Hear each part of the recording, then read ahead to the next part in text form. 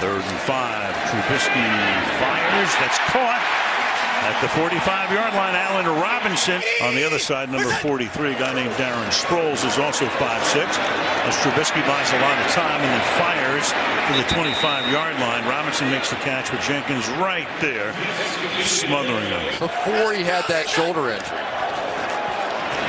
This one is a low throw, and it is Robinson who is able to make the catch at the 48-yard line. throws. That's caught. Robinson slips away. And he goes down to the 34-yard line. Got away from Bradham for the moment from the 37. A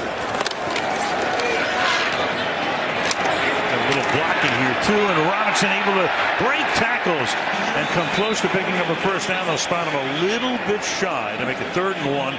Douglas makes the stop.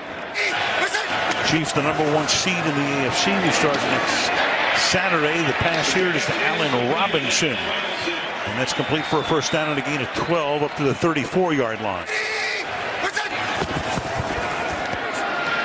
And just four. Trubisky has a man open. It's Robinson. He's inside the 30, and Allen Robinson takes the ball to the 21-yard line.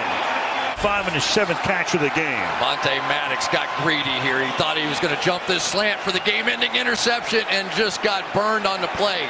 Young players sometimes, when they get a little too confident, can be taken advantage of. Good play call that time on the part of Nick. From the 22-yard line now, Trubisky stepping up, fires down the sideline. Robinson makes the catch on pretty much a windless night. Second down and 10. Trubisky hangs in the pocket, throws, and it's going to be caught by Allen Robinson. Tremendous night for him. Trubisky's throwing for 295 tonight. Here comes the blitz. I'm bringing everybody. Away they go. Trubisky fires, and that'll be pulled in at the 26-yard line by Robinson. He's going to stay in bounds, so the clock keeps running down, but they're within Parkey's range here.